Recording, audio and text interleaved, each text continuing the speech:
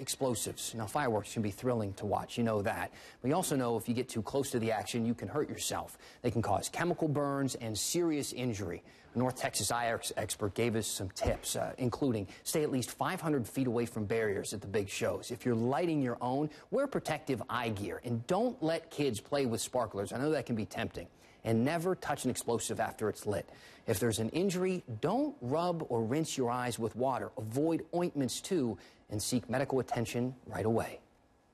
Very important to have adult supervision with children playing with things like sparklers, wearing protective eyewear that has a proper fit, um, leaving the big fireworks to the professionals, and always respecting the protective barriers and trying to keep a safe distance of at least 500 feet away from fireworks. And eye doctors, as you can imagine, have seen some serious injuries, varying from minor ones to ones that have actually caused blindness. Now, we have some new information for you about a